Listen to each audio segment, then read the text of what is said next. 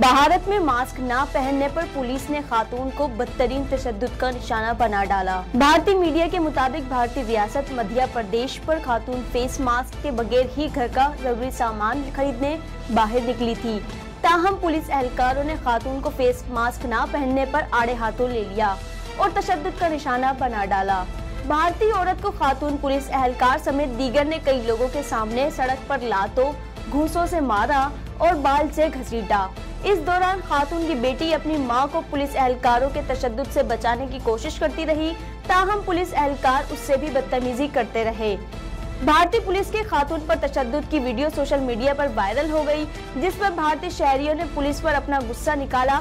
Face mask न पहनने की गलती पर खातून को तशद का निशाना बनाने वाले पुलिस एहलकारों ने खुद भी फेस मास्क नहीं पहना हुआ था।